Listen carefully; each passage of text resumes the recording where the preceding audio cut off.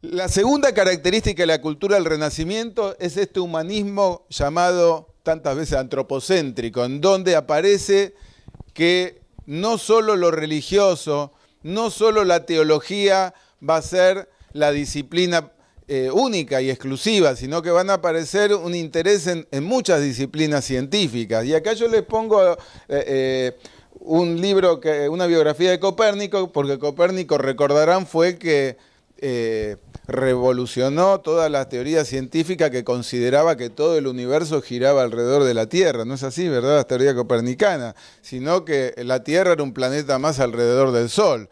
Entonces hay un giro espectacular también en esta visión teocéntrica a través de eh, el estudio, lo que se dice el humanismo, donde empiezan a surgir intereses en otras disciplinas, el estudio de la anatomía humana, el estudio de la política como disciplina también eh, científica, ¿no?